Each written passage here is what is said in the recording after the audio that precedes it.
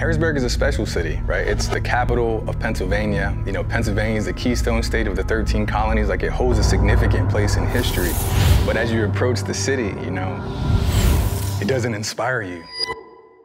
But it will, soon. I think Harrisburg is, is going to look a lot different in the next few years. There's a change coming, and the people of Harrisburg want it and feel it. So let's build.